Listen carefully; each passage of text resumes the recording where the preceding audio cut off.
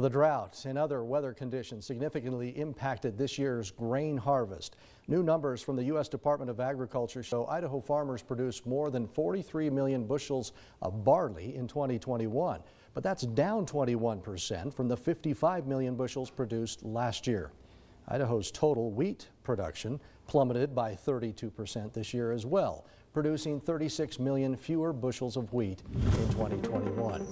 The combination of severe drought coupled with an extreme early season heat wave resulted in a major drop in crop production statewide. There's no sugarcoating it. You know, it was a tough growing season for Idaho uh, farm commodities. Uh, the yields will, yields will be down significantly in almost every crop this year, like big numbers, double digit numbers in almost every crop, apparently except for sugar beets. So it was a tough year for sure. Despite the decrease, Idaho still remains the nation's top barley producer. Idaho produced 37% of the nation's total barley crop this year.